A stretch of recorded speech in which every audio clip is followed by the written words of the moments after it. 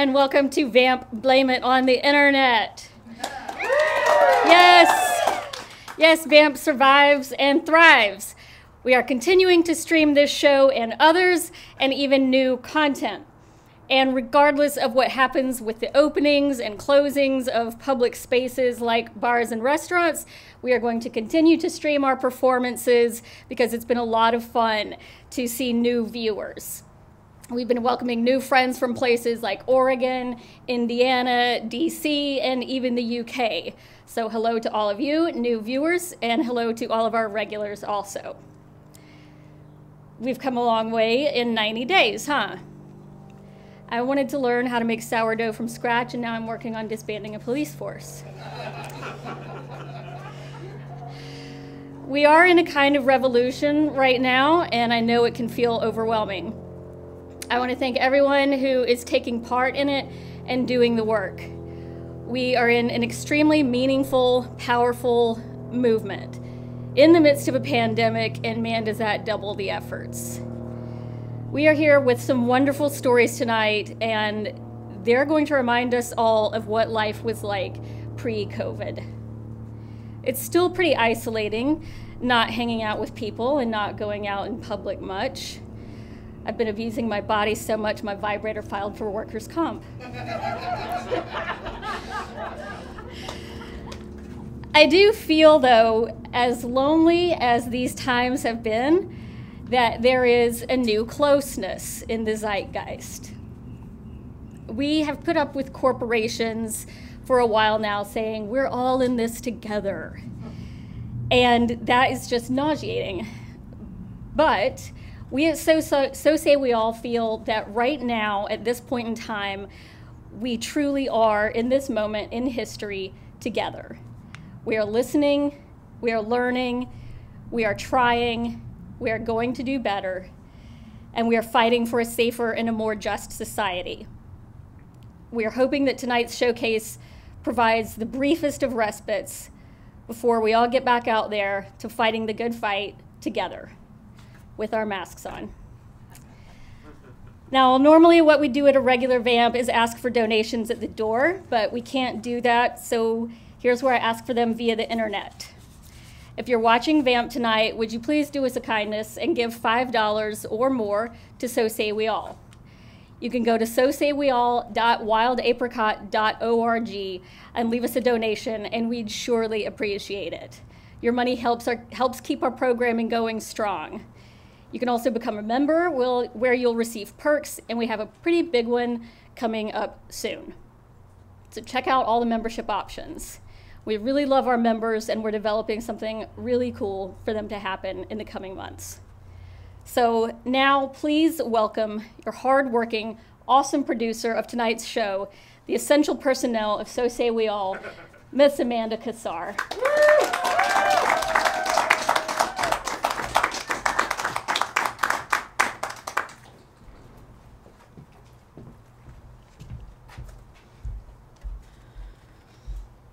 Greetings, pajama wearing connoisseurs of excellent internet entertainment.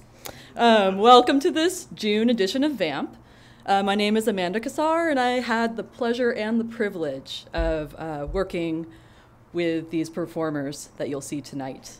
Um, this is a very special, sort of weird meta edition of VAMP. Um, the theme, decided before all this shit went down, uh, is Blame It on the Internet. Um, and here we are on the internet instead of at our blessed whistle stop. Uh, but it's okay, because I'm here with these performers, and you're here through the magic of the very entity that we're gathered here tonight to celebrate or perhaps condemn the internet.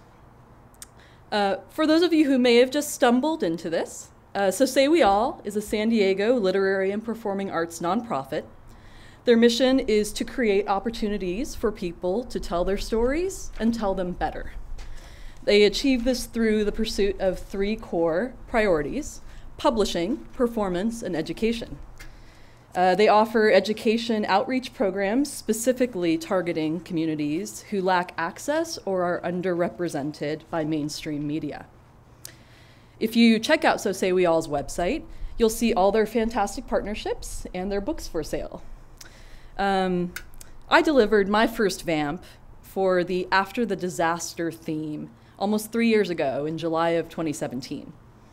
All I knew at the time was I had this story inside of me that was huge and messy and traumatic, and the theme spoke to me. It gave me permission to narrow in on one smaller aspect of a very big jumble of feelings. Uh, it was really therapeutic and also very gratifying. Since then, I've been delighted to be part of this community that's sorely needed in San Diego. Um, it's a place that creates space and respect for the true things that happen to us all, both the really wild stories and also the more mundane things. That old phrase from Socrates, the unexamined life is not worth living, rings true to me. After going through the rigorous but very enjoyable processes of crafting a vamp story. Um, if you're wondering how crafting a vamp story works, the submission process is blind. We read your stories blind and choose the ones we think have the most potential. Uh, you'll get one on one coaching uh, from a writing and performance coach and you go through critique sessions with your fellow performers. Um, so that said, any of you out there can do this. Um, at the end of the show, I'm going to pitch next month's theme to you uh, in hopes that you may think about dashing something off for us in the next few days. But back to tonight, in these stories that explore the effects the internet has had on our storytellers, you may notice a unifying thread. Yes, the internet can be an awful place, the desert of the real, as it were. You need not go far into cyberspace to expose sticky veins of human ugliness. But the internet can also be a powerfully creative space to remake and revise our realities. So, with that, I would like to introduce our performers tonight. We have Rory Kelly. Kiyomi Shaba, who is a first time vamper. Dallas McLaughlin, veteran. Florence Sarah Pollard. Brienne Hayes. And the indomitable Brent Hanafy. So, with that, please welcome Rory Kelly to the stage.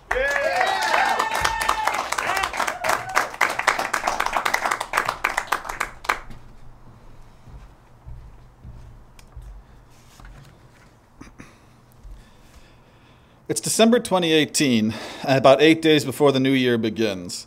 I'm lying in bed staring at the ceiling, and one thought keeps reverberating around the inside of my skull like a devilish, hyperkinetic tennis ball. I suck. This is not an uncommon thought. Most nights begin with an epic amount of self flagellation as the day's stressors and anxieties coalesce into an organism of shame and defeat. I know myself well enough to know that this mental cobweb of negative self talk will most of the time evaporate with the rising sun, like dew on blades of grass, except the dew is toxic sludge, and the blades of grass are shards of used hypodermic needles. This night's bout of negativity comes from a sudden realization I'm 32 and I haven't accomplished anything. Now, even in my half asleep state, I can counter this pretty easily. I've accomplished stuff. I have a great marriage, a secure career, good friends, ties to the community, and a respectable mid sized car with a backup camera that I'm steadily paying off. so, there, nightly toxic dew, I am doing okay. Yeah, the voice says, but aren't you a little, a lot unhappy? Don't you feel unfulfilled? And I try to fight back and say, no, I'm fine. But when, the voice says, was the last time you actually completed a creative project? Ah, damn it. This is the one two punch that my inner bully knows is a knockout. The logical side of my brain has no retort or defense for this. How many ideas have you jotted down in various notebooks?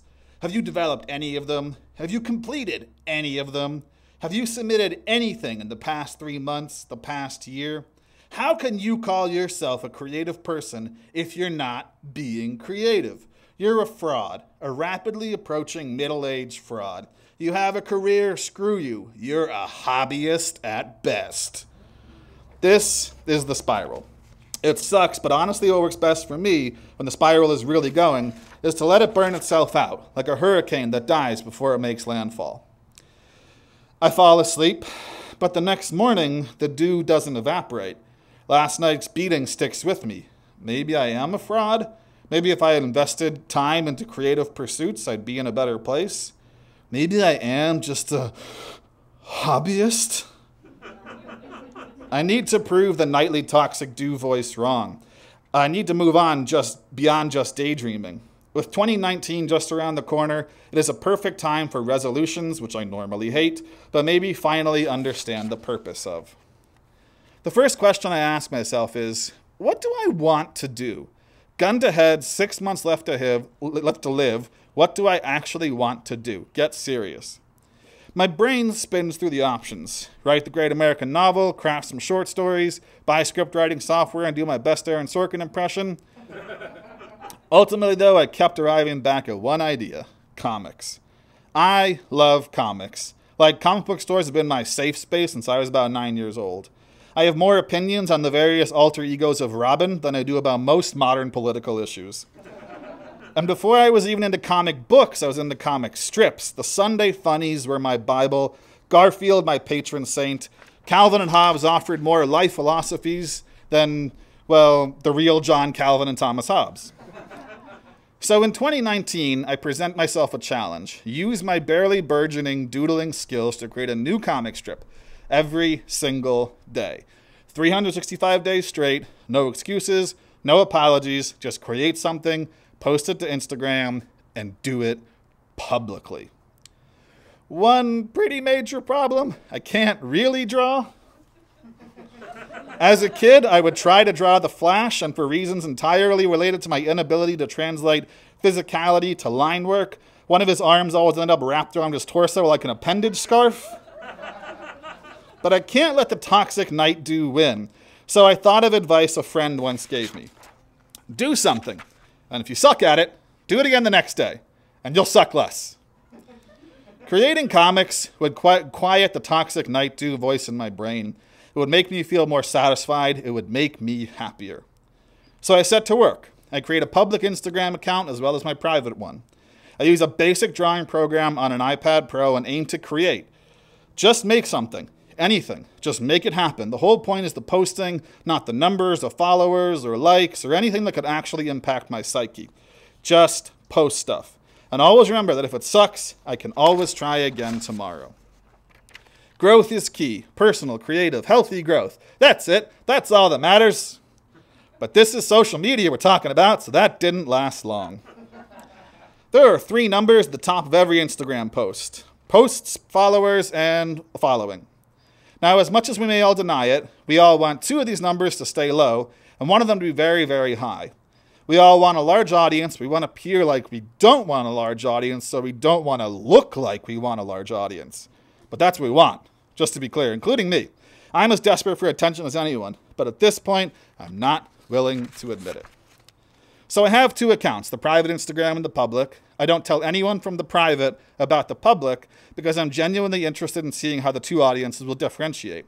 It's like an experiment control group, private IG, and variable group, public IG. The same comics are published to both. For the first month or so, the comics on the private earn more likes than the comics on the public. This is nice. I'm glad to see my friends are responding to them. Let's be clear, I don't have a ton of followers on the private account. It is mostly other writers and some coworkers. So something like 12 likes is considered a good day.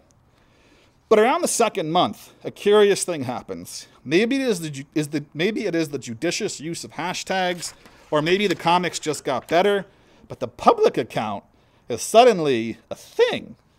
Not a big thing, mind you. I mean, if a comic gets 10 on the private and 14 on the public, that's hardly notable but I noticed, and I feel good, and I feel the itch.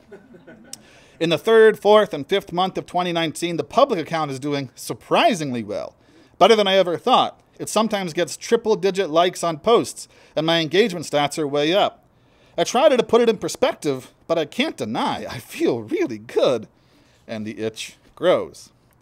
Around the sixth month, I break 3,000 followers in the public account, and one post breaks 10,000 likes. What in the actual hell is happening? Sure, a lot of those followers are, for some reason, from India, but like, whatever, right? Numbers are numbers, right?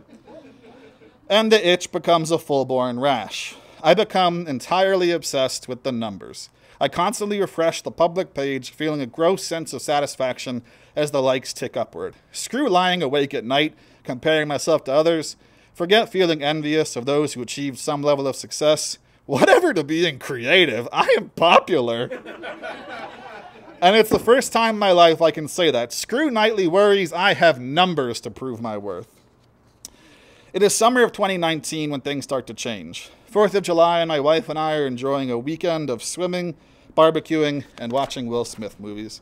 But I'm not fully present. I think I have a good strip, one with a wisecracking firecracker. And so, my routine of refreshing the strip every hour dominates my attention. But damn, this thing is sluggish! Nowhere near the numbers I was expecting. It just languishes in the ether of the holiday weekend like a flaccid American flag bandana tied haphazardly to a sweaty dad's forehead. I try to brush it off. Just a holiday weekend slump, right? Nobody checks their phone on the 4th, right? Like, everyone's drunk or whatever, right? Despite my mental protestations, over the next month the numbers slip. The follower count plateaus and the hashtag stop producing likes. I keep posting because I made a goal, and I want to be able to say that I had done something, that I had proof that I am not just a hobbyist, that I can create and see ideas through to their ultimate forms. But there is a lingering feeling of futility. Regardless, I feel a sense of loss, of frustration. Was the nightly toxic dew right this whole time? Did I really, actually suck? Was the pre sleep hell chant not just anxiety and exhaustion, but my own inner Simon Cowell warning me not to embarrass myself in front of others? What have I done wrong? Why am I losing my audience? Have I created something patently offensive or stupid or dorky? I do my own research into what is happening. I learn more about the chaotic neutral force known as the Instagram algorithm. Apparently the algorithm is crack- apparently the algorithm is cracking down on bots. Some bots are easy to spot. They're the ones who message you and invite you to a private chat so you can see their hot, sexy pictures, big boy. Other bots are less obvious, and according to my research, many bots come from bot farms in India. So it's entirely possible that my meteoric rise contains inflated numbers, which anecdotal evidence supports. But unfortunately, my self worth is largely tied to those numbers. And the numbers are low, so the self flagellation returns with a vengeance. I remind myself of the original mission statement of this whole project just create. All growth is good, right? But the numbers are hard to ignore. Despite my right brain's attempted encouragement, my left brain has data and analytics to prove the night chant true. Indeed, I suck. The past year has been a lie. Well, maybe not a lie, but it was definitely complicated, and I'm not sure what I'm supposed to learn from it. I wrap up my daily experiment in December of 2019. I created, wrote, drew, and posted 354 comics, just 11 shy of one a day. I feel I feel fine, you know, good. Like I did what I set out to do, pretty much, and that's that's cool. And so I go to bed. I close my eyes, and I hear a, a voice, a familiar voice, start a familiar chant. You suck. I open my eyes. I stare at the ceiling. I realize this was never about followers, engagement stats, or algorithms. It's about my own brain and wanting to be free of the feelings of worthlessness that lull me to sleep. What if I don't let the voice spiral? What if I talk back? What if I stand up for, for myself against myself? So I fight back. I don't suck. I'm creative and learning. I'll keep trying, and maybe someday I'll suck less. Thank you so much.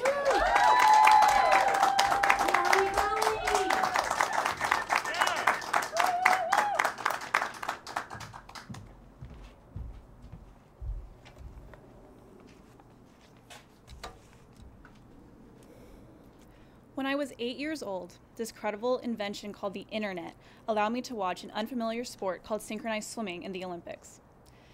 I sat cross legged in front of our bulky television, eyes wide as tall girls with silky legs and shiny hair danced across the water. That, I said. I want to do that. As a child who had dabbled in mainstream activities such as soccer and softball, but chose to stick with Irish dancing, mostly because there weren't flying balls involved, it's not surprising I fell in love with another off brand sport. Synchro began as a small commitment, about three days a week for two hours a day. I loved it. My coach bubbled with excitement every practice, and our routine song, which is the same for the whole year long season, was from, Chick- from the Chicken Little movie. We even had Chicken Little on our costume suits. My teammates quickly became my closest friends, and competitions were spent playing in the sun and binging on nachos from the snack bar. Our short routine was simple, and my coach said the most important thing was to smile and have fun. The only downside was how we had to do our hair. A tight bun stuffed with bobby pins with Knox gelatin coating our heads. After meets, I stood in the shower for hours picking out every last piece of jello from my hair. As the years went by, the commitment grew. Weird phrases began to enter my vocabulary. Like when a coach wanted our sculling to be smooth, she'd say, and now we're going to smear peanut butter on the bottom of the pool. and if we had to get higher out of the water in our splits, she'd yell, try to get your crotch dry. Three days of practice turn into five days, and then six days, and then seven. Two hour practices stretched to three hours, and five on Saturdays. As a shy middle schooler, Synchro gave me a place to belong. When everyone at school was talking about soccer or football, I would proudly think, well, I'm a synchronized swimmer, and I bet I have to practice more than you do. Synchro made me different, and I liked it. When I was 14, about six years into this venture, something happened. I won an event at a big meet. After years of being wonderfully average, I was actually good at synchronized swimming. Younger teammates began looking up to me, and coaches started noticing me. I tried out for the national team, passing a skills testing which included tasks like V ups, push ups, planks, headstands, and flexibility testing. I qualified in the top 20 nationally in the 13 15 age group, and after that, synchro truly became my entire life.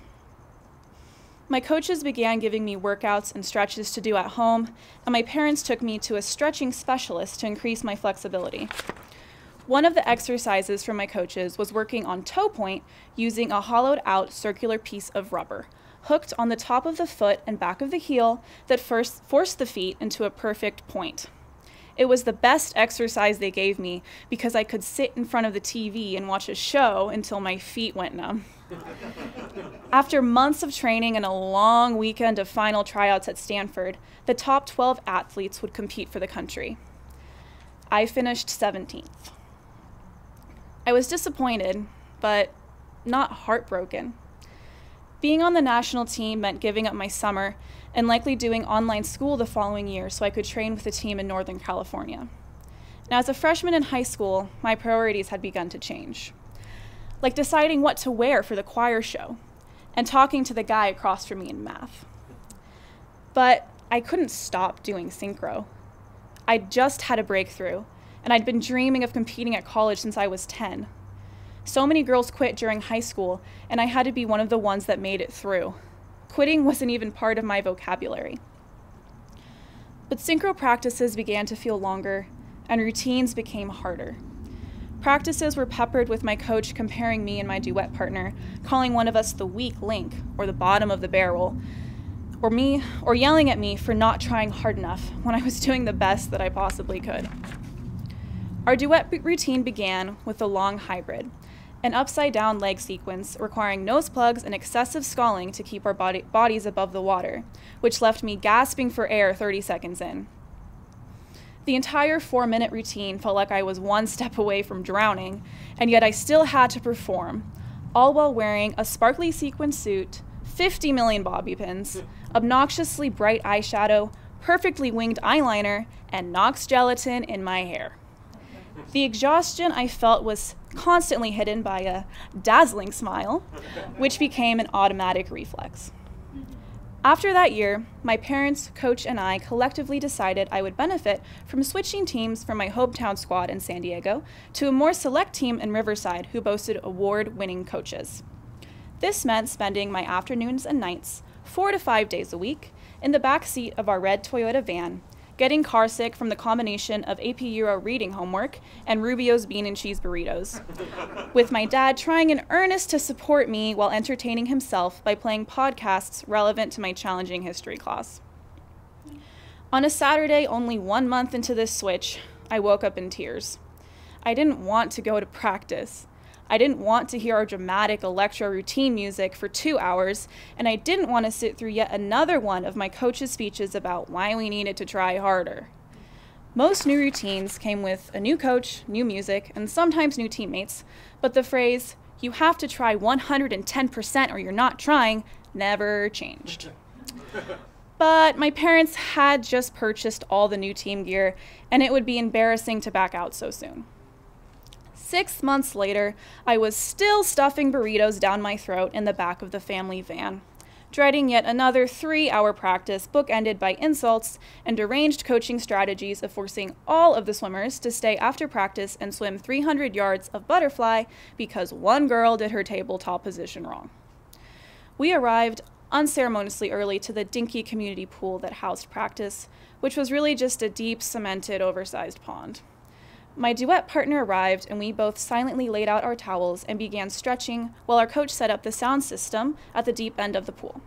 We use an underwater speaker, which is for hearing the routine music underwater, but really acts as a way for the coach to yell at us even when we're upside down. this team was run by two coaches, an intrepid mother daughter duo, and on this day, the mom, a skinny, serious 60 year old woman, ran our practice. My duet partner and I continued stretching until our coach called us over to begin land drilling, which means practicing our routine on land. This is something that happens virtually every practice and involves continuous counting to the music and fake smiles. Five, six, seven, eight. Louder! Five, six, seven, eight. Kiyomi, louder! My cheeks burned from the forced smile dragged across my lips, but I tried to count louder. I couldn't. It was like my smile was a mask clamp- clamped over my mouth, leaving my voice stuck in my throat. Kiyomi, if you do not start counting louder, I'm going to have to ask you to leave. My coach stopped the music, and I turned around, suddenly petrified. She was crying, not leaking tears, but legitimately sobbing about how I had disrespected her and must leave the pool deck right now.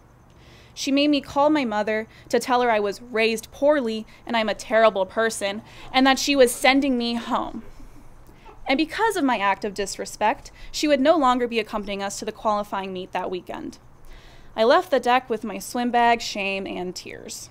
I explained the situation to my dad, and we drove two hours home. He was more confused than anything. So was I.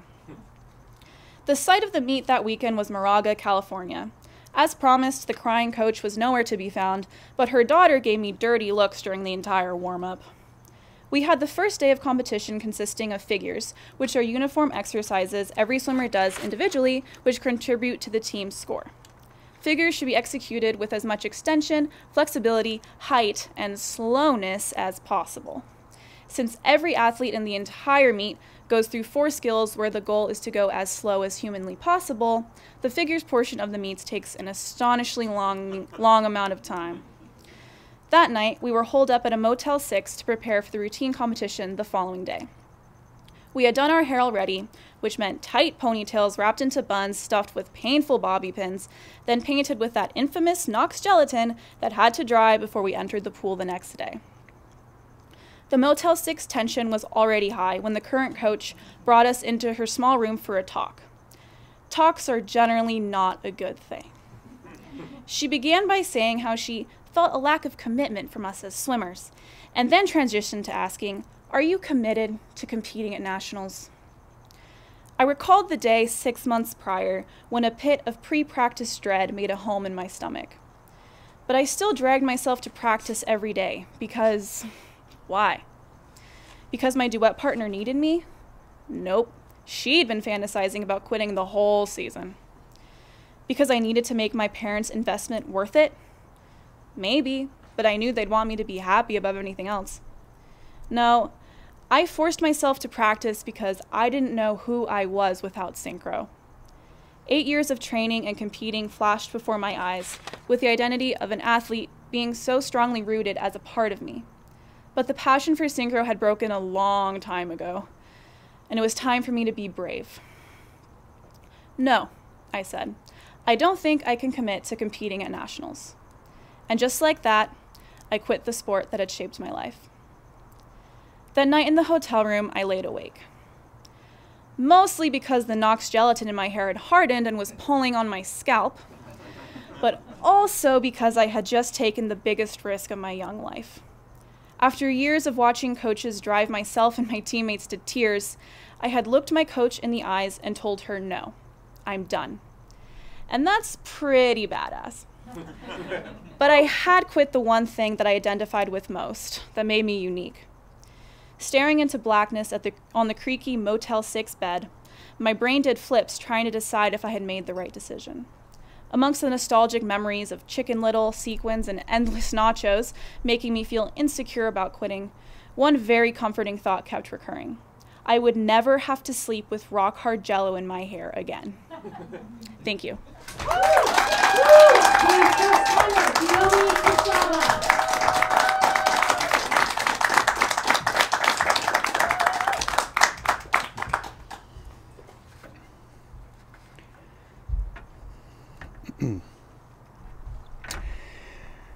About a decade ago, I attended a friend's second wedding.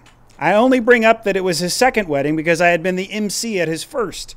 I had one of the better lines at the reception when I welcomed everyone to the very nice hotel's very large ballroom by saying, Welcome to the 2002 Independent Spirit Awards. one person laughed very loudly. The second wedding was very different. It was held at a boutique hotel. The ceremony was by a pool and it had a theme Mad Men. There was no MC this time around, but there was a 90s cover band made up of my two best friends. One played guitar, the other cajon, and they actually were very successful around San Diego for a few years. They called themselves Fever Crotch.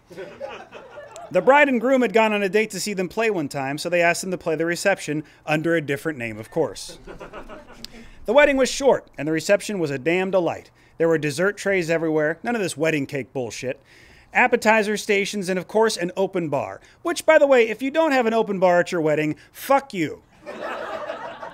You're a bad person. Please understand that outside of your immediate family, no one wants to go to your wedding to see you get married. No one. The only reason they're there is to get free drinks and free food. Please don't be an asshole and make people pay for drinks and don't have a dry wedding. Holy shit. Unless someone in your family died of alcoholism, and even then, it's a toss up. I mean, they're not going to fall off the wagon. Anyway, this wedding had an open bar, and I took full advantage. Fever Crotch asked me to come up and sing Bust a Move, which I'm very good at, like uncomfortably good at. When I was done, I walked over to grab a tower of desserts when I was approached by the photographer, who was also an old friend and I hadn't seen in a while. We chatted for a few minutes and she asked if I would check out her photography page on Facebook. I said I would, and later that night when I got home, I did in fact check out her Facebook page. I'm a mad man of my word. After a few minutes, I kept noticing this one girl who was in a lot of the photographs. And naturally, being a single 30 year old man at the time, I began the process of Facebook stalking this girl. and here's the thing this girl was beautiful, like a model beautiful. And that's probably because she was a model. I've always been one to punch outside my weight class, which at this point could be described as Taco Bell. But at this moment, even I was like, hold on, champ. She is out of your league in the sense that she's on the field playing the game and you're up in the nosebleeds and you're not a person, you're a seat and you smell like beer farts. so, like all men of legend, I messaged her blindly. And then, like a moron, I asked if we knew each other. She replied saying that she didn't think so because, of course, we didn't and she wasn't an idiot. However, she said she noticed we had some mutual friends and then accepted my friend request. Things were happening. I immediately messaged the photographer from the wedding and asked about this model friend of hers who would one day probably unfriend me. However, I was determined to try. I hadn't dated anyone in three years. I was happy with that, very happy. I mean, my life was great. I had just come home from eating free tiny eclairs and rapping an 80s hip hop song at a wedding while dressed like a dying Don Draper. Things were solid, but I couldn't get this woman out of my head. This time, something was different. The photographer told me she was a great person and we'd be great together and I should go for it. And I mean, who doesn't trust a wedding photographer? the model's name was Samantha, Sam. And we started messaging back and forth, then texting, and then I finally got the courage to ask her out. The plan was to go see the movie Inception. It had just been it had just come out. At the time, we both worked in theater, which meant we were never available till late at night. So the only time that worked for us was a 10:40 p.m. showing. We got tickets, and the lady at the door told us, "You know, this movie's three hours long." No, we didn't know the movie was three hours long. But she seemed fine with it, and I just wanted to be where she was. When we sat in the theater, I went into full blown performer mode. I was slinging jokes, impressions, whipping out my best anecdotes, doing anything I could to appear interesting. At first, I thought everything was going well, but then I got nervous. She crossed her leg away from me. That's a sign she's not interested, right? But then again, by doing that, she pushed her body closer to me, so really she wants to be closer, right? Right? I was convincing myself that I was screwing it all up. When you're not the best looking guy in the world, you really have to rely on charm. At this point in my life, I was over 260 pounds, so my charm was thick. this led to an at times debilitating combination of unchecked confidence and uncanny anxiety. When the charm seemed to have little effect, my anxiety kicked in in the form of a little voice in my head. What is she doing here with you? She's beautiful. How old is she? She seems young. You're old. You should just get up and leave. But also, you should put your arm around her. No! Just save both of you the awkwardness of her rejecting you and leave immediately. It makes no sense that she would date you. You look like all the members of the Shins put together. Try to hold her hand. The only thing I did end up doing was actually just staring at her hand for about two hours. I was very slick. We walked out of the theater at about 1:30 a.m. and I turned to ask how she liked and she was yawning. A big yawn, like a fuck you yawn.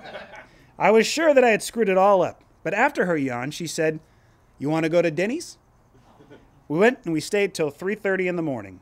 We talked about Denny's menu items for way too long. She ordered mozzarella sticks. Bold choice. I think I just ordered coffee because when you're a bigger guy, anything you put in your mouth is questioned. We talked about our lives, our jobs, our futures. Of course, we'd already been doing this for weeks on Facebook, but now, now it was real. I could actually see what made her laugh, what made her confused, and what made her smile. I could hear in person just how smarter than me she was. I could tell that she was better than me, and therefore I had to be with her forever. a few days later, I asked her to go to Julian with me. She said yes. A long drive to a small town was a bold ask for a second date, but I felt confident. We walked around all the shops. We ate at the Julian Cafe, where I made dumb characters out of the salt shaker and the creamer, Sergeant Salt and Captain Creamer retired, who both tried to convince her to be my girlfriend. Again, performer mode was in full effect, and instead of thinking I was being obnoxious, mainly because Captain Creamer sounded like this, and Sergeant Salt was inexplicably British, she just laughed. When we walked out of the restaurant, I went to hold her hand. She declined. I died a thousand deaths. The voice, see, I told you, she hates you. The creamer bit was dumb and you smell like chalupas. She said she didn't really hold hands, something I'd later find out was bullshit, but in the moment also sounded like bullshit. I pressed on. We got back to my house and we kissed. Quite a step up from hand holding, but what did I know about dating these days? A few nights later, she came with me to see Fever Crotch. I got up to seeing Bust a Move because I had to prove my worth as a potential life partner. We left the bar and I asked her if she would be my girlfriend. She said yes, then asked how old I was. We had never talked about it. She was 21. I was 30. I was old, but she already had health insurance, so it balanced out. The voice inside my head would seem to disappear when I was with her. In fact, my mom used to comment that I seemed at ease when I was around her, which I replied was because of my blood pressure meds. The need to overcompensate because of my inability to see good in myself was being washed away because she did see it without a qualifier. We were engaged a year later, in Julian, on the same corner where she refused to hold my hand. Most of the people I knew would see us together and marvel at the huge mistake Sam was about to make. In fact, most people didn't quite understand how this had worked out to begin with, and I was fine with that. It was best that no one asked too many questions. You don't want to spook the horses. Yes, she's very pretty. Yes, she's much younger than me. Yes, I'll die first. That's part of the plan. We planned our wedding for September as we were broke, and we learned that's one of the cheapest months to get married. Who knew? Apparently, most people. It was in the middle of nowhere in the woods, a small venue that warned people not to use any kind of Google Maps or GPS system, as it would just lead you to a lake. Neither one of us are particularly religious, so I asked one of my best friends to be our officiant. He was so happy he immediately went out and got ordained by the firstuniversalistchurch.com. He pe- peppered his speech with lines like, Do you, Sam, take Dallas to be your lawfully wedded husband as long as he shall live? and compared how much more popular Sam's maiden name was to my last name as a symbol of the significant step down Sam was taking. It was great. Instead of a Unity candle or some nonsense, we made a Unity iced coffee and had our officiant and a woman from the crowd sing Almost Paradise from Footloose as we made our Unity iced coffee. It was an honest to God blast, mainly because we had an open bar. As the night started to come to a close, Sam definitely looked worn out. I started packing leftover beer into the trunk to take to our hotel. Since we were in the woods, we couldn't do goodbye sparklers, and they very much discouraged rice or anything like that that the birds could eat and then explode. So we had our friends and family wish us well with a dance tunnel. We're very fun people. We got into the car and I immediately got nervous. I was sure I had just convinced this woman to make a gigantic mistake. This woman I had met on Facebook, of all places. This woman I had used all my drunken Irish charms to woo. That mean, anxiety driven voice started blabbering in my head so loud I couldn't shake it. I looked forward and I saw a dark road lit by stars ahead, and I cleared my mind as best I could. I started the car and turned to see my newly wedded wife yawning. A big yawn. Before I could inexplicably apologize for what I didn't know, she cut me off and asked, You want to stop and get burritos? I did. We did. Thanks.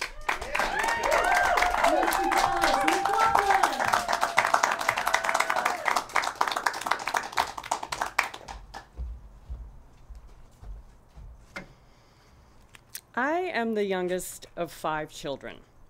Inevitably, at the start of every school year at Linda Vista Elementary School in Pasadena, California in the 1960s, you would find me sitting at my desk in my new class, bright, happy, wanting to do well, always early. Once settled in, the teacher would begin roll call. My last name being Pollard, I was in the second half of attendance checking. I would wait in anticipation, excited to have my new teacher acknowledge my existence. When my geriatric teacher would say, Florence Pollard, I would raise my little hand and say, Here. Pollard? Yes. Florence Pollard? Yes. Are you related to John, Jared, Ray, and Madeline? yes, I would say, now shrinking down in my seat, my thoughts of doing well and being a teacher's favorite becoming a distant memory. The teacher, cursing her bad luck, would say, No, not another Pollard. Please, not another Pollard. The next question, right on schedule, seemed to be, Are there any more of you? no, would be my answer, followed by a not so quiet mumbling under the teacher's breath, Thank goodness. In my second grade, Mrs. Harrison, or Harry Harrison as she was known on the playground, most likely one of my siblings giving her the derogatory name, actually announced to the class after uncovering my identity No, I won't have another Pollard in my class. This could have been the result of when my brother Ray boxed up and gift wrapped a dead rat for one of the teacher's aides. Or maybe when my sister Madeline punched her fourth grade teacher in the face. But to be fair, back in the day when it was your birthday, teachers would festively bring students to the front of the class and spank them once for every year of their age. On my sister's birthday, she wanted nothing to do with this little tradition, hence the punch in the face. Possibly Harry Harrison wanted to remember her last year teaching as an easy one and would not be taking any chances. She had me move to another class that day, relieved to be rid of another Pollard. Smog or not, the best time of day, hands down, was recess for me. One day, In first grade, another official smog alert had us six year olds relegated to playing inside the auditorium at recess. It was basically against the law for teachers to let us play outside during a smog alert. Not uncommon with the hideous air quality in Pasadena in the early 1960s. We were told we'd be playing games. What kid doesn't love games? Once in the auditorium, the teacher told us to imitate our favorite animal. Mine being an elephant, I quickly clasped my hands together, intertwining my fingers while throwing my straight arms up in the air. I was extremely excited and enjoying this fun and playful game. I knew the louder I was, the better elephant I became. I was taken by surprise when my trunk was being violently gripped and shaken. Florence, stop this instant! What is that terrible noise you're making? I explained to the teacher that my favorite animal was an elephant, hoping this explanation would make it obvious. With a look of disgust, she explained that I sounded horrible and looked ridiculous. Why can't you be more like Erica? Erica, always a teacher favorite, clean, pretty dresses, perfectly combed hair with a headband and a cute barrette, compared to me with my hand me downs, buck teeth, and my at home bowl haircut. I had no choice but to look over at Erica because the teacher had clamped both her hands over my ears and turned my head in the direction of Erica. Perfect Erica, skipping in a wide circle, making little high, light hoof clicking noises with her tongue. It was obvious she was a majestic galloping horse. Now look at that, Florence, and try, just try to be more like Erica. Something was cast over me that day, a deep and long lasting blow to my self esteem. The be more like Erica, not your sad, sorry, not good enough self kind of blow. This came from an ancient, wrinkled old woman who I was taught to respect because she meant business. As the years went by, I'd often wonder whatever happened to my childhood friend Erica. With social media and the internet, it should not have been too difficult to track her down. The problem was I had no idea how to spell her last name. Many years would go by without my ever thinking about her until I saw that there was a Linda Vista Gang group page set up on Facebook. It was representing my old Pasadena elementary school. I quickly joined the group. It's been great fun reconnecting with old friends and seeing class photos. Then it happened. Someone picked Erica out of our first grade photo. The post went something like this Does anyone know whatever happened to Erica Rechtin? There it was, the tricky spelling of her last name R E C H T I N. With absolutely no preconceived notions, I copy pasted the correct spelling of her name into a simple Google search, wondering if I would soon be able to figure out whatever happened to my perfect little friend Erica, who, completely unbeknownst to her, was the subject of the brutal self esteem blow put on me so many years ago. Would she be living a quiet life in Poughkeepsie with her three poodles? Possibly doing 25 to life in Leavenworth?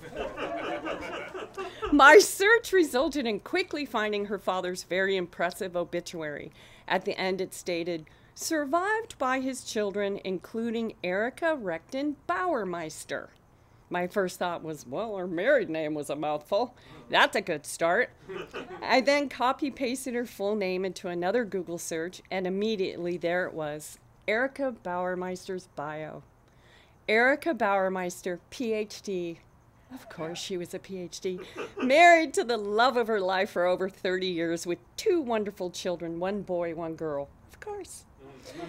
Successful author of the New York Times bestseller, the School of Essential Ingredients, which has been translated into 10 languages. Wow. Just wow. My first thought, misguided as it might have sound today, was well, the old hag was right.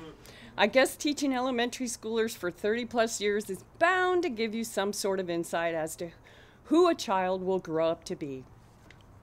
My friend Erica and I traveled just about the most opposite life paths that any two people who started out in the same elementary school classrooms could have. While Erica headed off into academia, at 16, I moved to Hawaii with my surfer boyfriend. Much like Harry Harrison's second grade move, my father okayed my move to Maui when I was 16 and facilitated it by making my 19 year old boyfriend my legal guardian, relieved he would be not be dealing with another rebellious teenager. Recently, I ran across the notarized document dated August 27th, 1976. It reads, to whom it may concern, I, John K. Pollard, father of Florence Sarah Pollard, whose birth is described below, willingly consent to allow Peter Matthew Powell, surfer, to act as her legal guardian during her residence in Lahaina, Hawaii, as long as she is enrolled in and maintains a satisfactory academic record at Lahainaluna High School. Against the odds, I did manage to graduate. My own writing started very late in life. After secretly dreaming of being a writer for years, I finally convinced myself to just say fuck it and get my stories down on paper. Turns out the stories all true have been well received. I do sometimes wonder, though, if I'd even had a pinprick of encouragement from anyone at all, or if educators would have known what dyslexia was back in the 60s, my life would be a little different now. I'm not complaining. I have, despite the odds, managed to carve out a good life for myself with wisdom, loyalty, determination, and reliability, much like the Honorable Elephant. Mm-hmm. My many misadventures have given me some great stories and very thick skin. Suffice it to say, Erica Bauermeister, like the horse with its power, grace, beauty, and freedom, likely had a bit more support and encouragement coming her way than I did, but good for her. No doubt Erica has worked ridiculously hard and is quite talented. My hat goes off to her. Her newest book, The Scent Keeper, was Reese Witherspoon's February Book of the Month Club choice. of course it was. Through social media, I reintroduced myself to Erica and invited her to join our Linda Vista Gang Facebook group.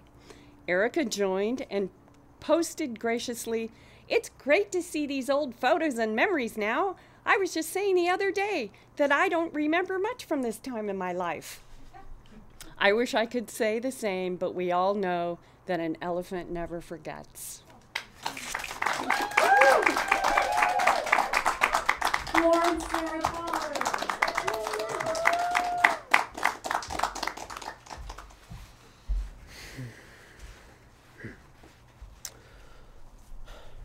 Her name was Allison, and she was nothing like me.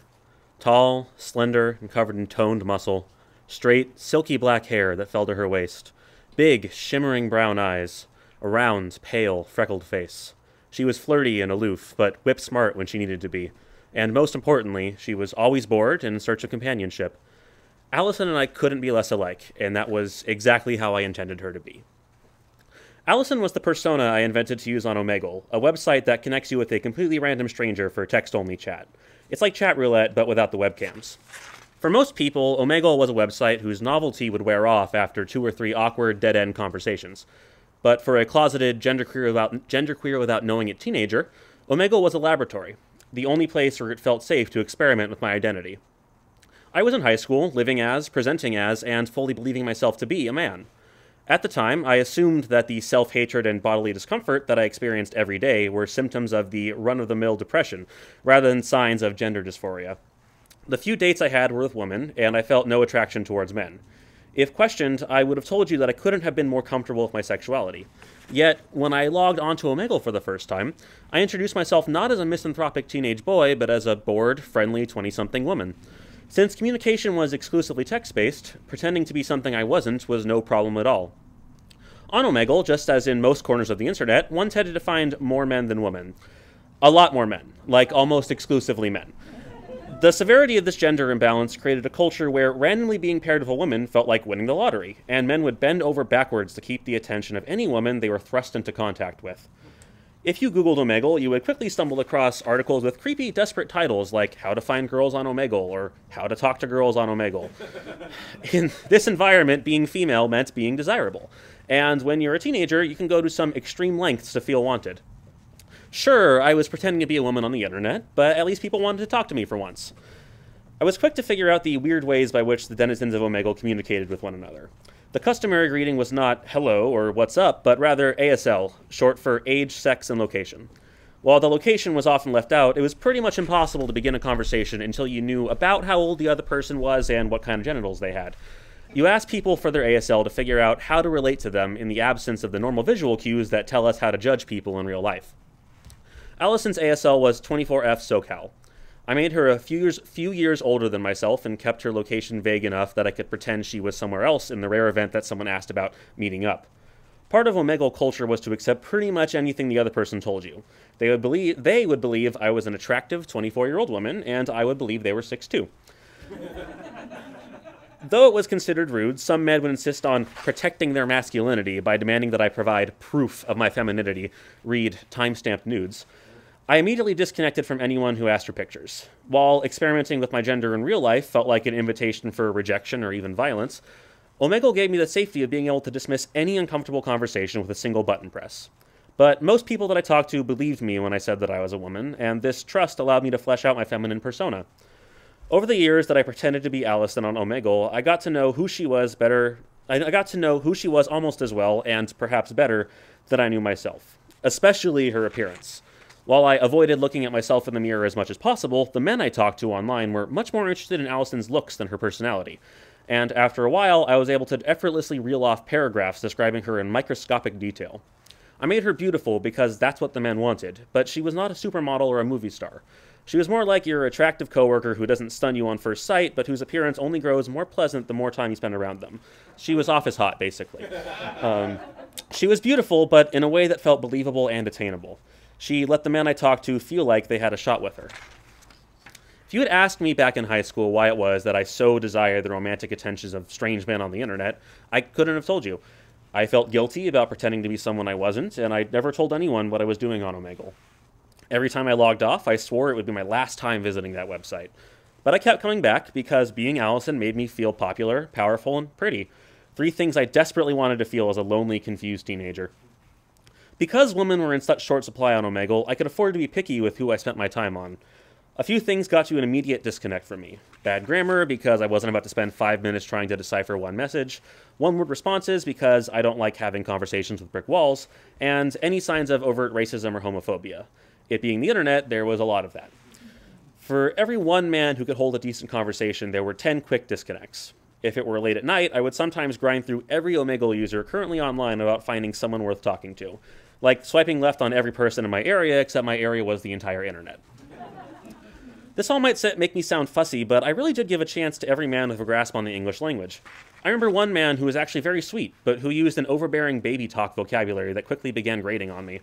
I asked him to stop, and for some reason he got offended. But we talked it out.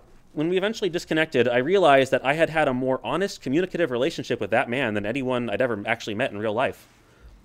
What I was really looking for, though, was the occasional charming, funny, polite man who wanted nothing more in the world than a chance to talk with a pretty young woman my favorites were the middle aged men who stuck to an antiquated notion of chivalry, who would court me like a wealthy suitor in a Jane Austen novel. Above all else, these men made me feel wanted. For the 20 or 30 minutes our conversation would last, I would feel like the most important person in the world to this man. Sometimes, if I liked a man enough, we would go beyond flirting and role play a romantic or sexual encounter. With language as our only limitation, these scenes could get pretty ridiculous billion dollar dates at luxurious mansions, a tryst between a CEO and his secretary, the king of a mythical kingdom and his concubine. I went along with pretty much everything, knowing safety was only a button press away if things ever got out of hand. Though I would never admit it, what excited me more than anything else as a teenager was some man who I'd never meet describing himself sweeping me off my feet and into arms way more ripped than he actually probably had. My life as Allison ran parallel to my life as an angry, confused teenage boy until I graduated from high school, when I entered into a long term relationship with a woman whose trust I didn't want to betray by flirting with strange men online. Though I was able to stay off of Omegle, there was now a hole in my personality where Allison had once resided. If I was a straight man in a happy relationship with a woman, then why did I still feel so uncomfortable in my own body? It took a lot of time and introspection, as well as reading a lot of incomprehensible queer theory papers with titles like Abjection and the Hygienic Imagination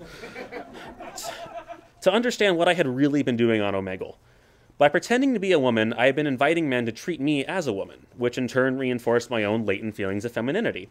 Being Allison made me feel happy because, as a teenager, pretending to be a woman on the internet was the only way I knew how to express the femininity I wanted to embody in real life. It had nothing to do with wanting men. Rather, I wanted their masculinity so that I could feel more feminine. Last year, I came out as a femme. Not exactly a woman, but someone who is more feminine than masculine. I started exclusively wearing women's clothing, as well as jewelry and makeup. I no longer had to deal with all the self hatred that had stemmed from the dysphoria of living as a man. I began to feel as popular, pretty, and powerful in my real life as I'd used to feel in my digital life. A lot of people are afraid of anonymity on the internet since, yes, people can be pretty awful when they think that their actions won't have consequences. But in places like Omegle, where the only limitations are imagination and a Wi Fi connection, anonymity is what allows people like me to try out new identities in ways that we just can't in real life. Allison was not me, but she was a proto me, an experimental model of femininity that I would later adapt to fit my own personality. It took pretending to be someone else for me to find out who I truly was. Thank you.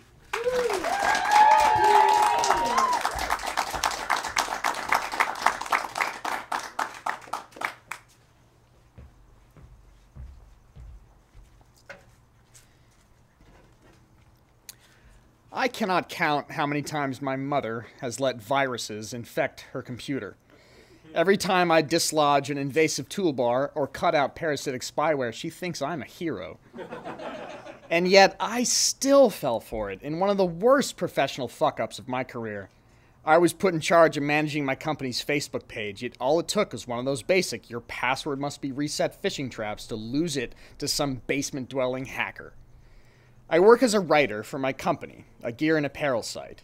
And during their early days in the e commerce scene, they didn't have anyone running their social media accounts, so they gave me the job as a kind of a side gig. In startups, most employees wear multiple hats. They clearly should have given me just one hat. the Facebook page melted away before my eyes. The profile picture changed to a troll face. My recent posts vanished one by one, the scammer changed the title for my company's name to Awesome Videos. Even in my panic, I found it tragically unimaginative. I reverted to what my mom always did when her computer wasn't working. I jammed the power button until the screen went black.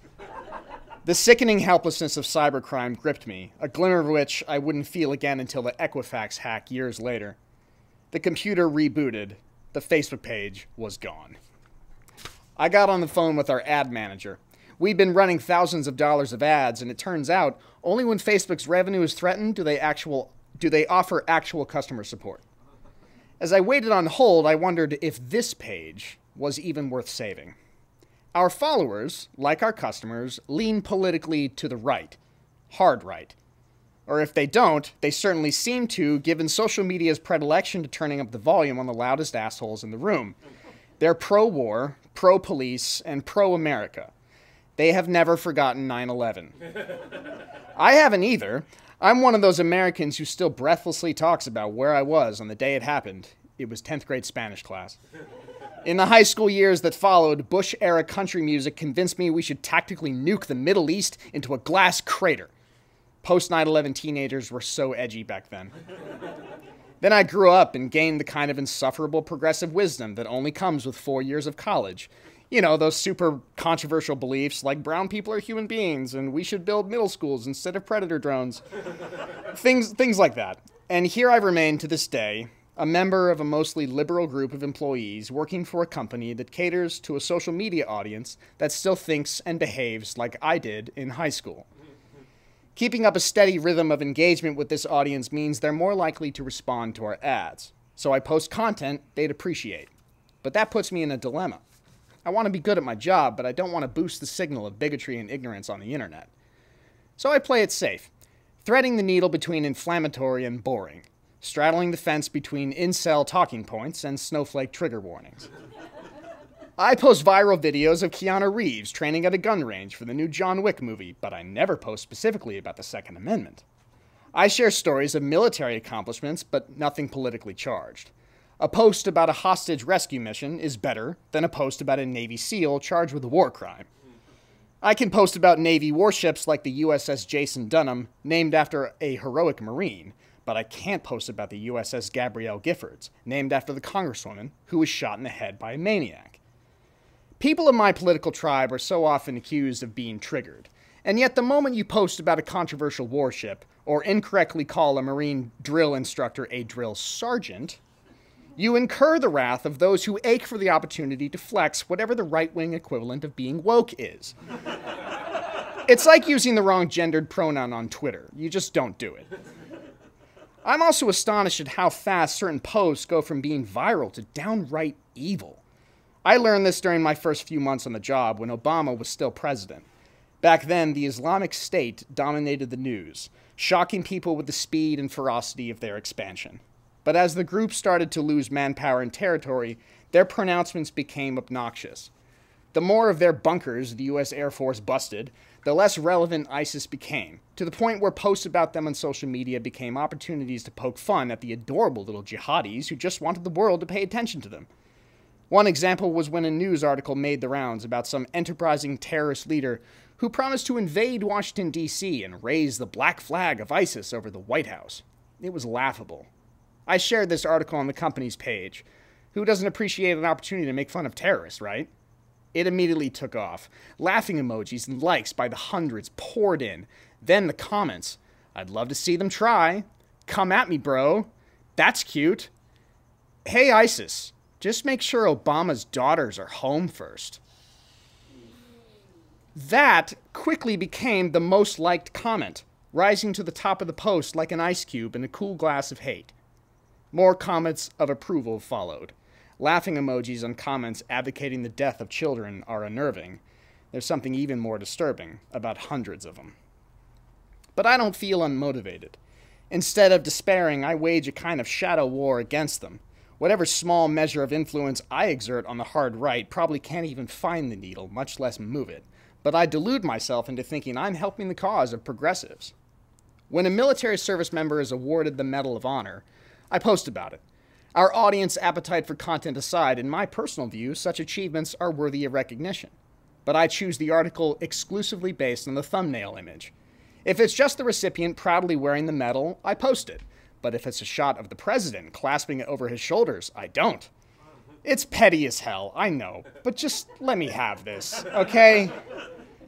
Sometimes, despite my best efforts to avoid insane debates on my posts, a ferocious comment war will ignite. The rhetoric can be so enraging, so poisonous, that I personally burn with a desire to jump in, reply, and show them what's what. But that would get me fired quicker than, say, allowing the Facebook page to get hacked, so I don't. Instead, I rely on my friend Gary. I fire off a message to him with a link to the post. He drops his shit and he goes to work. He's my proxy warrior, my avenging angel of social media discourse. A skilled debater, Gary airdrops into a hot LZ of hate and ignorance, unleashes logic on the enemy, and cripples his infrastructure. War is hell, but it can be beautiful to watch from the sidelines. Despite all this, I enjoy growing the community and furthering my company's goals. I'm proud to have written for them for six years. We've grown from a scrappy startup to a reputable e commerce cage fighter that sometimes, sometimes poaches sales from Amazon. I help this company find its voice, and running the Facebook page means more people hear it. Eventually, the Facebook ad manager got back on the phone with me. She pulled some strings and managed to reset and return the page, and also saved me from being fired. I had the page back. Posting has now become routine. I know what to share, but more importantly, I know what not to share, like the recent protests. I'd rather not give oxygen to whatever incendiary comments would surely appear on those posts. So instead, I posted about our recent sales and promotions. But depending on how recent the latest mass shooting or Trump rally was, the difficulty of the job fluctuates. I grow tired of this audience's dated obsession with some kind of classic country that no longer exists, or perhaps never did. A hostile and uninviting land of nationalist values where racism is confused with patriotism, and where people devote themselves to expired notions of what it means to be American. It's a land that exists in the broken HTML formatting of those horribly bigoted emails your uncle forwards you from that one guy he knows at church. it's a land where people ask, was it really necessary to have that gay couple in the new Star Wars movie? It's a land where people believe, where they truly believe, that nothing is actually wrong with our country right now, that everything's how it's supposed to be. But there was something recently that gave me a glimmer of hope. A few weeks ago was a nationally designated day called Military Spouse Appreciation Day. It was a fun opportunity to put together a photo album featuring images of military wives and husbands, of homecomings, of farewells, and joy. I gathered a handful of photos. The wife of an A 10 pilot embracing her mustachioed man on the tarmac, a Marine hugging his wife before leaving for deployment, a soldier clasping his wife's hand as their daughter heaved his gigantic duty bag over her little shoulders. Then I grabbed one more photo a female sailor standing at parade rest as her wife pinned her collar and cap device, the rank of Chief Petty Officer, on her service khaki lapel. Her cheeks were flushed with happiness as she smiled at her love, overjoyed to have her at her side during her promotion. I added the photo of the same sex couple along with all the rest and posted it on the company's Facebook, Twitter, and Instagram. I even shared it on LinkedIn. Then I braced myself for the wave of inappropriate comments that would follow. But it never came. No one said a word. Thank you.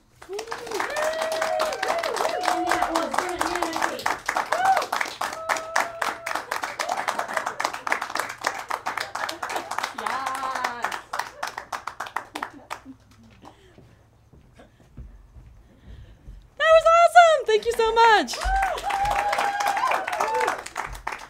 That was Blame It on the Internet. Um, before y'all take off to So Say We All's website to check it all out and uh, perhaps throw a few bucks their way, I just want to mention So Say We All is a community, um, not just among its performers and volunteers and board members, but also its audience.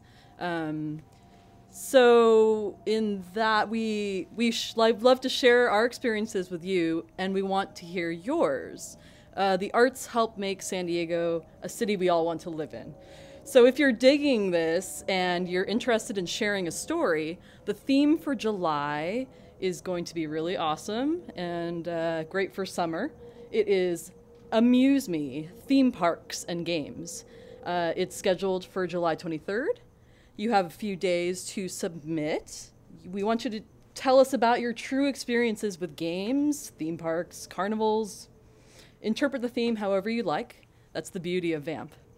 Uh, so that is so sayweallonline.com.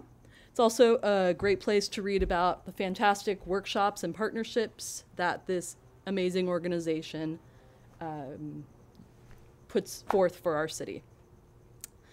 And so, with that, I want to thank our performers and our coaches. We had Jennifer Stiff, Dallas McLaughlin, Brandy DeCusin, Lauren Cusatello, Justin Hudnall, and Ari Remmel, who helped our performers. And again, our awesome performers, Rory Kelly, first timer Kiyomi Kashaba, Dallas McLaughlin, Florence Sarah Pollard, Brienne Hayes, and Brent Hannafy. Thank you so much for coming through the magic of the internet, and please join us again. Yeah.